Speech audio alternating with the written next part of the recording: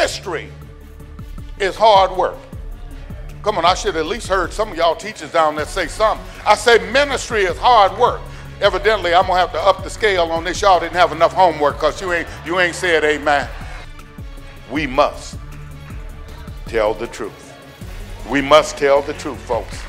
Matter of fact, we not only must tell the truth, but we must tell the whole truth. And nothing but the nothing but the truth, folks the text not only reveals the duty to tell the truth, the diligence to study the truth, and the discipline to teach the truth, but it also reveals the dedication to communicate the truth. Christians who debate with unbelievers inadvertently allow Scripture to be considered on the same level as human wisdom. Satan knows the most that most people, including many who are intelligent and educated, are more apt to be persuaded by popular jargon, repetition, and duplication than by biblical argument or actual proof, despite what they may claim to the contrary.